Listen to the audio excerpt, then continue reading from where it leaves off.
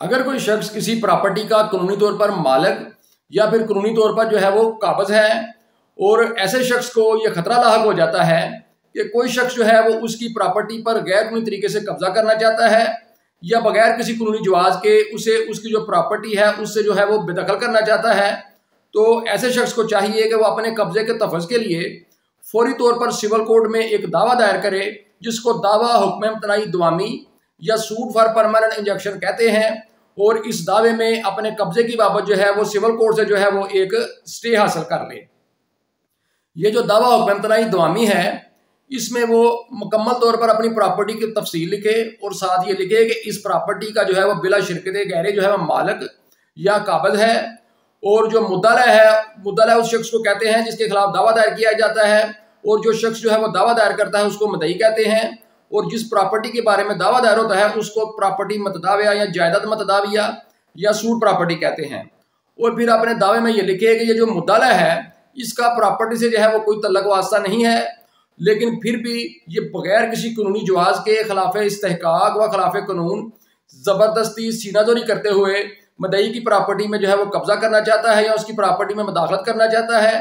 ये सब चीज़ें अपने दावे में जो है वो लिख दें। फिर जो दावा होता है उसके साथ एक एप्लीकेशन लगती है जिसको कहते हैं दरखास्त जेर आर्डर उनतालीस रूल वन टू ये मजमू जबता दीवानी उन्नीस सौ आठ का जो है पाकिस्तान में, ये इसके जो आर्डर उनतालीस है, उसके रूल वन और टू के तहत जो है फ़ाइल की जाती है। इस दरखास्त का मकसद ये होता है, ताकि दावे में जो है वो अबूरी जो स्टे है वो हासिल किया जा सके। यानी जिसको आर्जी हुक्मतलाई कहते हैं, ये आर्जी हुक्मतलाई जो होता है, ये फौरी तौर पर जो है जिस दिन दावा दायर होता है, इस एप्लीकेशन की वजह से उसी दिन मिल जाता है। क्योंकि जो दावा होता है इसका तो फैसला जो है अदालत ने दोनों फ्रीकैन को सुनने के बाद जो है वो शहादतें लेने के बाद करना होता है। लेकिन सरेदस जो है एक एप्रीहेंशन होती है, एक रिलीफ दरकार होता है कि कहीं प्रॉपर्टी पर जो है वो नजायज़ कब्जा ना हो जाए और किसी को जो है वो मुकाबले तलाफी जो है वो नुकसान ना उठाना पड़ जाए। तो इसलिए ये आर्डर उनतालीस रूल वन टू की जो एप्लीकेशन है, ये दावे के साथ जो है जिस दिन दावा फ़ाइल किया जाता है, ये लगा दी जाती है। फिर जब ये एप्लीकेशन लगी होती है तो इस एप्लीकेशन पर जो है अदालत एक अबूरी हुक्मतनाई जिसको आरजी हुक्मतनाई या आरजी स्टे आर्डर कहते हैं, वो जारी कर देती है, जिसमें अदालत ये क्लियरली लिख ले, लिख देती है कि जो मुद्दा है, वो मदई की प्रॉपर्टी पर जो है, वो कब्जा करने से जो है, वो बाद ममनू रहे, क्योंकि जो मदई होता है, उसने परामा बशाई जो है, अपने अपनी मलकियत और कब्जे के डॉक्यूमेंट जो है, वो अदालत को दिखा दिए होते हैं, और परामा बशाई जो है, अदालत इस चीज़ पर बिलीव कर लेती है कि ये शख्स जो है, ये प्रॉपर्टी पर काबज है और किसी शख्स को यह हक हासिल नहीं होना चाहिए कि वो बगैर किसी कानूनी जवाज के उसे, उसकी जो प्रॉपर्टी है, उससे बदखल करे या उसके जो कब्जा है, उसमें मुदाखलत करे।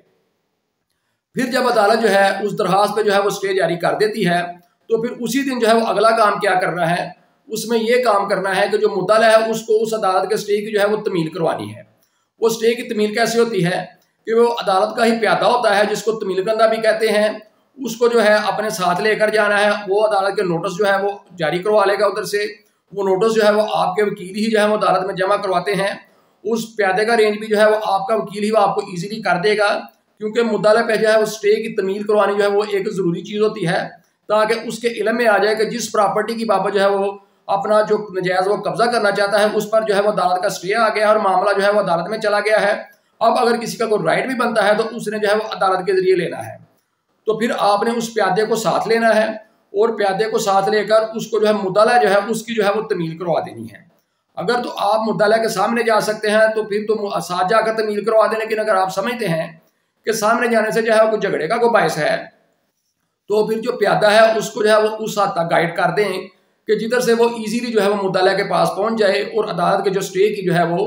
तमील करवा दे। फिर जब वो अदालत की स्टे की तमील करवाता है तो वो दो नोटिस लेके जाता है उसमें एक नोटिस जो होता है वो मुद्दा के हवाले कर देता है और एक नोटिस पर जो है उससे जो नोटिस मुद्दा के हवाले करता है, उसकी जो है उस पर वसूली ले लेता है।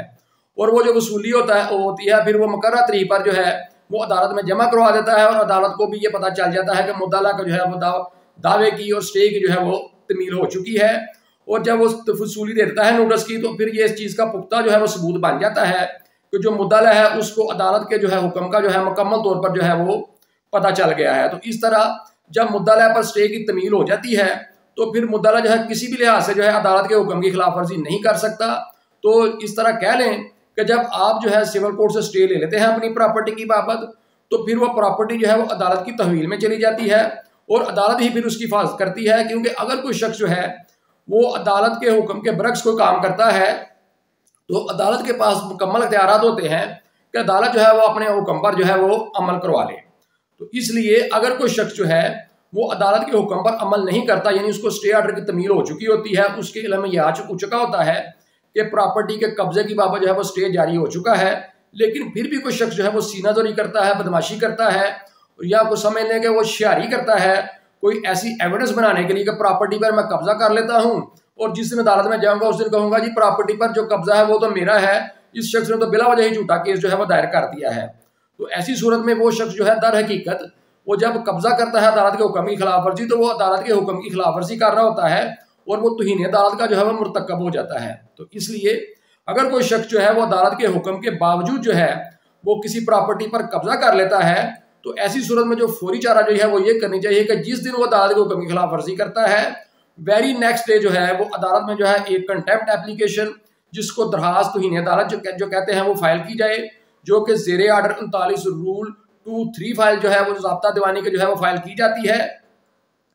जिसके साथ आप एक मजीद जो है वो सेक्शन ऐड कर दें एक सौ इकवंजा जो है जबता दीवानी का जिसमें जो है अदालत को जो है इनहेरिट पावर्स होती हैं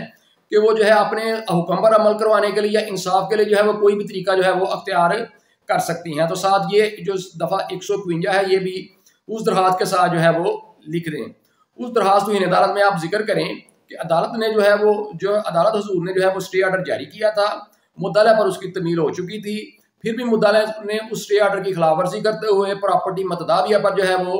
कब्जा कर लिया और मुझे जो है वो बेदखल कर दिया। या जो भी उसने खिलाफ वर्जी की है वो उसमें लिख दें। या अगर उसने सिर्फ़ कब्जा करने की कोशिश की, कोई नुकसान पहुँचाया प्रॉपर्टी को तो वो लिख दें। तो ये सारी चीज़ें लिख कर जो है वो अदालत में तुहिन अदालत की जो एप्लीकेशन है वो दायर कर दें। फिर इस जो तुहिन अदालत की जो एप्लीकेशन होती है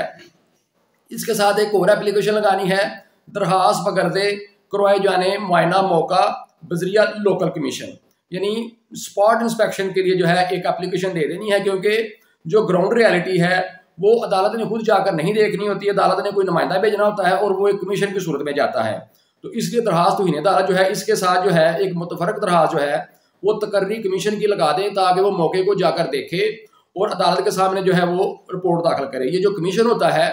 ये अमूमन जो है अदालत जो है किसी वकील को मुकर करती है, या फिर अगर जो है ये किसी वकील को अदालत कमीशन मुकर नहीं करती तो अदालत जो है अपने किसी अहलकार को जो है, वो भी जो है वो कमीशन मुकर कर सकती है। तो फिर ये जो कमीशन है, ये मौके पर जाता है और मौके की सारी सूरत हाल का जायजा लेता है और अदालत में ये बताता है कि इस वक्त प्रॉपर्टी पर काबज कौन है, पहले कौन था, वो उधर तयन करता है मौके की शहादतों के लिहाज से। और जो अगर जो अदालत पे जो है वो कंस्ट्रक्शन को हुई है या नहीं हुई वो जो जो भी उसने फिर मौके पर देखना होता है, फिर वो अदालत में एक रिपोर्ट तैयार करके कमीशन जो है वो अदालत में दाखिल करता है। ये जो कमीशन होता है, ये मोहम्मद जो रिपोर्ट है, बिल्कुल दुरुस्त दाखिल करते हैं। इन, क्योंकि इनकी एक साख होती है, ये अगर वकील को मुकर किया जाए या किसी एहलकोर को भी मुकर किया जाए, क्योंकि ये जो कमीशन की रिपोर्ट होती है, इस पर एक चेक भी होता है, वो ये होता है कि अगर कमीशन की जो रिपोर्ट है, वो गलत आ जाती है तो उस पर आपको तराज दाखिल करने का भी जो है वो मौका मिलता है, और अगर आप अपने तराजात से ये साबित कर देंगे कमीशन की रिपोर्ट जो है वो गलत हुई है तो इस तरह वो कमीशन की जो रिपोर्ट है वो रद्द हो जाती है और अदालत जो है वो नए सिरे से भी जो है वो कमीशन मुकर कर सकती है। तो इसलिए ये कमीशन को पता होता है कि अगर मैंने रिपोर्ट जो है वो गलत दाखिल की तो मेरा जो आइंदा अदालत में जो कमीशन की बाबा जो साख है वो मेरी साख जो है वो ख़राब हो जाएगी और वैसे भी जो है इन मामला में दो नंबरी करके कोई बंदा जो है वो अपनी इज़्ज़त बहाल कैसे रख सकता है? तो इसलिए जो कमीशन की रिपोर्ट होती है, ये मोमन ठीक ही होती है। फिर जब अदालत के सामने कमीशन की रिपोर्ट आ जाती है तो उसमें अगर ये कमीशन रिपोर्ट दे दे कि बाकी किसी शख्स ने जो है, वो अदालत के हुक्म की खिलाफ वर्जी करते हुए जो है, मौके में जो है, वो कोई तब्दीली की है तो अदालत जो है, फिर उस शख्स को जिसने अदालत के हुक्म की खिलाफ वर्जी की होती है, उसको तोहन अदालत में छः माह तक जो है, वो कैद की सजा दे सकती है, जो उसको छः माह के लिए सिविल जेल भिजवाया जा सकता है। फिर अदालत जो है, अपने हुक्म पर अमल दरामद करवाने के लिए वो जो, उसने जो भी तजावजत की होती है, उनको ख़त्म करवा सकती है, अगर उसने कब्जा कर लिया होता है तो वो कब्जा वापस दिला सकती है उस शख्स को उस शख्स को वापस दिला सकती है। बल्कि ये कह लें कि जिस दिन दावा दायर हुआ होता था हुआ, हुआ होता है अदालत ने प्रॉपर्टी को जो है वो उस सिचुएशन पे ले जाना होता है। तो इसलिए जो अदालत के हुक्म की अगर कोई शख्स खिलाफ वर्जी करता है तो उसके उसके बाबत जो है वो अदालत के पास जो है मुकम्मल चाराजी मौजूद है। अदालत जो है सबका सूरत बहाल करवा सकती है और जो शख्स जिसने तुहिन अदालत की होती है उसको छः माह तक जो है वो सिविल जेल भिजवा सकती है। फिर एक और चीज़ भी है। अगर वो शख्स जिसने अदालत के हुक्म की खिलाफ वर्जी की, अदालत जो है उसकी प्रॉपर्टी पे अटैच कर सकती है और उसकी प्रॉपर्टी को नीलाम भी कर सकती है उस सूरत में कि जब वो अदालत के हुक्म की खिलाफ वर्जी से मुसलसल जो है वो बाज नहीं आता और मुसलसल अदालत के हुक्म की खिलाफ वर्जी करता है तो फिर अदालत जो है ये काम भी उसके खिलाफ जो है वो कर सकती है। तो इस तरह अगर किसी को अपनी प्रॉपर्टी की बाबत जो है वो खतरा लाक होता है तो उसको फौरी जो है वो सिविल कोर्ट से स्टे ले लेना चाहिए और स्टे लेने के बाद मुद्दा पर तमील करवा दें, फिर मुद्दा जो है वो अदालत के हुक्म का पाबंद हो जाता है। लेकिन अगर वो अदालत को कभी की खिलाफ वर्जी करता है तो फिर मैंने आपको बताया कि तुहीन अदालत में जो है, उसको सजा भी हो सकती है और अदालत जो है, वो सबका सूरत हाल जो है, वो, जो है, वो उसको बहाल कर सकती है।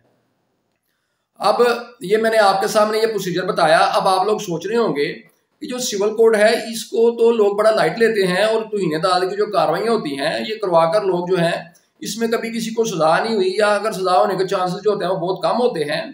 तो मेरे भाई, इसमें ऐसा नहीं है असल में बात यह है कि हमारी जो पैरवी होती है, उसमें कुछ फ़र्क रह जाता है। अगर हम सही तरह पैरवी करें मुकदमात की तो कभी जो रॉन्ग डोर होता है, वो बच नहीं सकता। जो पैरवी होती है क्लाइंट और वकील दोनों मिलकर करते हैं। इसलिए लेकिन सबसे ज़्यादा ज़रूरी ये होता है कि जो क्लाइंट है, उसको विजिलेंट होना चाहिए। अपने मुकदमात की जो है, उसको दुरुस्त तौर पर पैरवाई करनी चाहिए। अब मैं आपको एक अमली मिसाल से बताता हूँ कि लाहौर हाईकोर्ट की एक जजमेंट है, दो हज़ार 2020 सीएलसी पेज है, अठारह जस्टिस रसाल हसन साहब की ये जजमेंट है। इसमें एक केस उनके सामने आया कि जिसमें एक शख्स ने वो दावा हुक्मतनाई दवामी जो है वो दायर किया और अपनी प्रॉपर्टी की बाबा जो है वो अदालत से स्टेटस को जो है वो हासिल किया कि प्रॉपर्टी की जो सूरत है वो बहाल रहे। लेकिन जो मुद्दा था, उसने क्या किया कि उसने उसकी जो प्रॉपर्टी है, उस पर जो है वो मुदाखलत की, उसकी जो है कंस्ट्रक्शन को जो है वो गिरा दिया और उस पर अपनी जो है वो कंस्ट्रक्शन कर ली।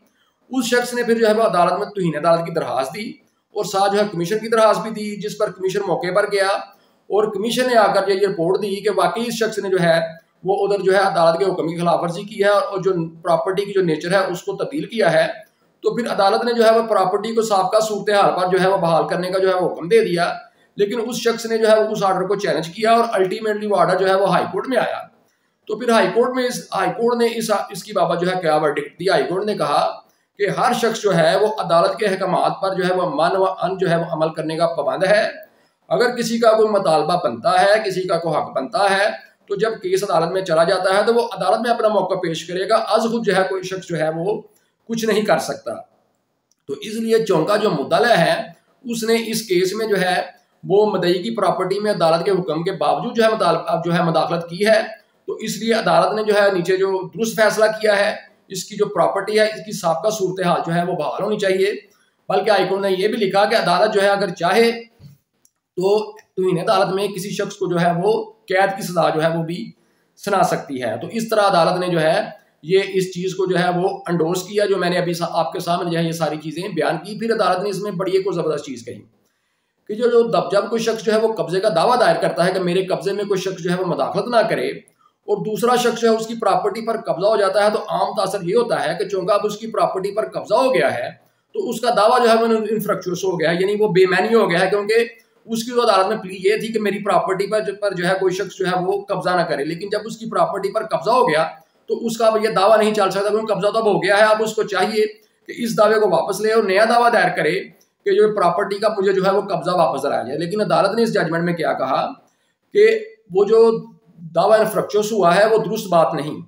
कोर्ट को चाहिए कि जो सबका सूरत हाल को बहाल करवाए और दावे की जो है, वो समाप्त करे। दावे को हर किसी इन्फ्रक्चुअस जो है, वो नहीं तस्वर किया जा सकता। क्योंकि जब उसने अदालत के हुक्म की खिलाफवर्जी की है और प्रॉपर्टी पर कब्जा किया है तो अदालत सबसे पहले जब प्रॉपर्टी की सबका सूरत हाल बहाल कराएगी तो प्रॉपर्टी जो है अपने पहले वाले दिन पर आ जाएगी। तो फिर दावा इन्फ्रक्चुअस कैसे हो सकता है? यानी दावा फिर बेमैनी कैसे हो सकता है? क्योंकि दोबारा उसी शख्स को जो है कब्जा वापस मिल जाता है, जिससे कब्जा छीना गया होता है। तो इसलिए अदालत जो है उस दावे को जो इन्फ्रक्चुअस नहीं करेगी, बल्कि प्रॉपर्टी की सबका सूरत हाल बहाल करवा कर उसकी जो है वो असर नो जो है वो समाप्त करके दावे की जो जो है उसका जो है वो मेरिट पर फैसला करेगी। तो इस तरह ये जो लाहौर हाईकोर्ट की मैंने आपके सामने जजमेंट बयान की है। बयान की है दो हज़ार बीस सी एल सी पेज है अठारह सौ तिरवंजा। तो इससे जो मैंने आपके सामने बातें की, मैंने अमली तौर पर जो है एक केसला की जो है मिसाल से जो है वो आपको जो है वो गाइड करने की जो है वो कोशिश की। तो इस तरह अगर कोई शख्स जो है उसकी प्रॉपर्टी पर जो है अभी किसी ने कब्जा नहीं किया, लेकिन उसको खतरा है कि मेरी प्रॉपर्टी पर कब्जा हो सकता है तो उसके लिए बेहतरीन रेमेडी है कि वो सिविल कोर्ट में दावा दायर करे। और फिर जब आप सिविल कोर्ट से स्टे ले लेते हैं तो कोई शख्स जो है वो उस पर तमील भी उसकी हो चुकी होती है। बेशक उस पर तमील नहीं भी होती, लेकिन वो स्टे की जो है वो टेस्टेड कापी आपके पास होती है और कोई शख्स आपकी प्रॉपर्टी पर जो है वो कब्जा करने आता है, आप वन फाइव पर कॉल चला लेते हैं और पुलिस जो है वो मौके पर आ जाती है और उस शख्स को पूछती है हाँ भाई, तुम किसे सी से आए हो इधर? तो वो अगर कोई भी अपना जवाब पेश करता है, लेकिन अगर आप कहते हैं, जी देखें मेरे पास अदालत का स्टे है तो वो अदालत उसको कह देगी कि, भाई, अदालत में मामला चल रहा है, तुम इधर से चले जाओ। और जाकर अदालत में अपना जो है वो मौका पेश करो। अगर तुम इधर आए तो तुम पर एफ़ दर्ज कर देंगे। तो अगर वो शख्स फिर भी बाज नहीं आता तो आप फिर वन फाइव पे कॉल करते हैं। तो इन्हें अदालत के अलावा मैं ये आपको बता रहा हूँ। तो पुलिस ऐसे शख्स पर जो है वो एक मुकदमा भी दर्ज कर देती है, जो किसी की प्रॉपर्टी में जाकर जो है वो जुर्म करने की बाबत होता है, जिसमें और इसके साथ जो है वो पुलिस जो है वो धमकियों का या कोई भी उसने अगर दीगर को जुर्म किया होता है तो उसकी बाबत जो है पुलिस जो है वो एक एफआईआर भी दर्ज कर देती है।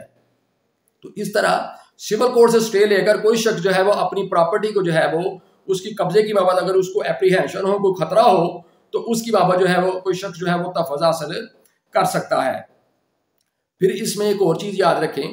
कि कब्जा होने से पहले पहले अगर आप स्टे ले लेते हैं तो फिर ये आपको इस दावे के तहत जो है वो तफज मिल सकता है। लेकिन अगर आपकी प्रॉपर्टी पर कब्जा हो जाता है, आपको पता नहीं चलता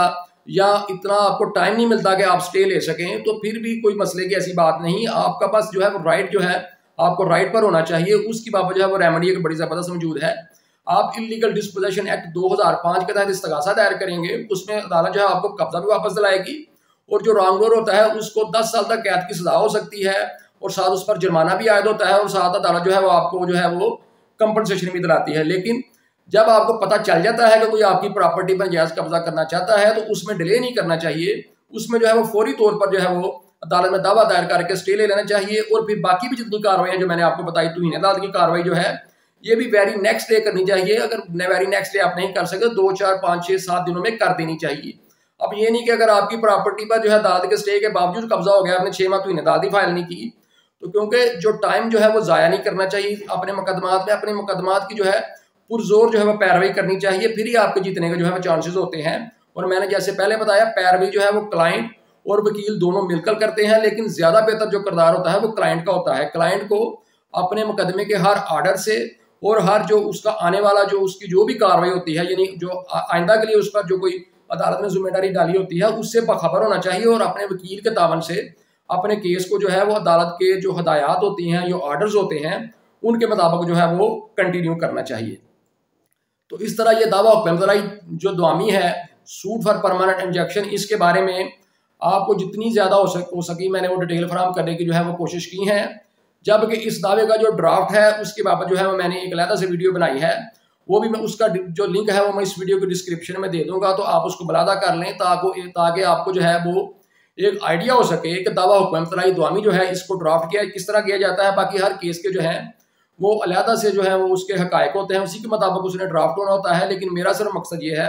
कि आपको एक जो है वो सरसरी तौर पर जो है वो एक आपको जायज़ा लेने का जो है वो मौका फ्राहम कर दूँ। इसलिए मैंने एक ऐसी वीडियो बना दी है जिसमें जो इस दावे का मुकम्मल ड्राफ्ट दरखास्त हुई अदालत की का जो ड्राफ्ट है और जो दरखास्त कर कमीशन की जो दरखास्त है, इसका भी जो है ड्राफ्ट है, उस उस वीडियो में जो है मैंने वो दे दिया है, जिसका लिंक जो है इस वीडियो की डिस्क्रिप्शन में मौजूद है।